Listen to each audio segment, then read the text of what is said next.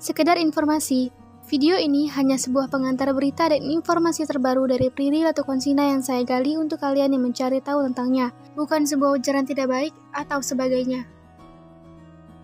Berikut ini Prilly Latukonsina yang diledekin temannya lantaran ia masih perawan. Sosok Prilly Latukonsina selama ini memang dikenal sebagai aktris yang berbakat di tanah air. Bahkan, di usianya yang masih terbilang muda, Prilly Latukonsina berhasil merengkuh popularitas di dunia hiburan. Berbagai judul film sukses dibawakan oleh Prilly Latukonsina, namun sayang perjalanan cinta Prilly Latukonsina tidak sesukses karirnya. Banyak laki-laki tampan yang dikabarkan dekat dengan Prilly, namun tidak ada yang langgeng hingga sekarang. Teman-temannya pun menuding hubungan asmaranya kandas karena Prilly punya batasan-batasan dalam berbacaran. Meski mendapatkan cemoohan seperti itu, Prilly tetap memegang teguh nilai moral saat menjalin hubungan dengan laki-laki. Prilly Latukonsina kerap diejek oleh teman-temannya lantaran memegang teguh nilai moral. Teman-teman Prilly Latukonsina paham jika dia memiliki batasan dalam berpacaran, yaitu tidak melakukan hubungan seks pranikah.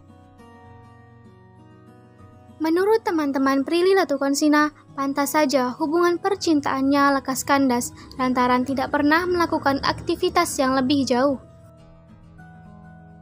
Kan suka diledekin juga, pantesan lo putus, cuman pegangan tangan doang, kan suka begitu ya, kata Prilly Latukonsina di sebuah channel YouTube.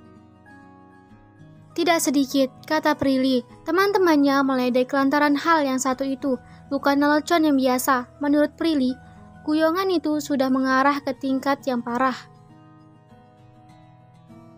Aku dibecandain terus sama teman aku, parah yang menganggap biasa melakukan seks sebelum nikah, tuturnya. Prilly Latukonsina pun punya tekad untuk menjaga keperawanannya sampai dia menikah dengan pria yang tepat. Selain menjaga martabatnya, Prilly Latukonsina juga ingin menjaga semarak aktivitas seks dia nanti dengan suaminya. Menurut Prilly Latukonsina, semarak seks setelah nikah akan berbeda jika dilakukan sebelum menikah.